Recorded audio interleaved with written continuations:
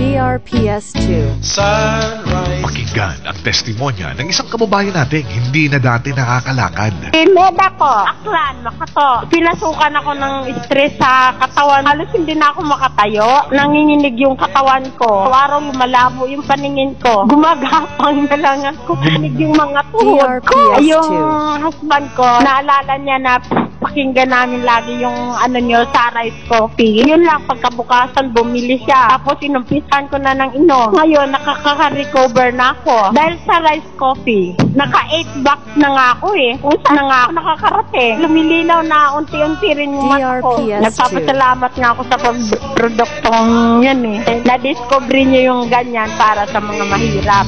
Rice Coffee Mix Herbal Coffee 14 in 1 plus 1. Available na nationwide.